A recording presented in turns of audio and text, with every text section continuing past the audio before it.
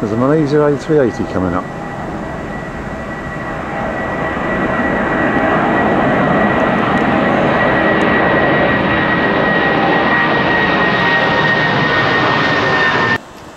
Well, next up is the Malaysia A380 MA03. I can hear it coming.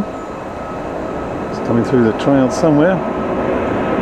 So let's see if we can get hold of this little bubble.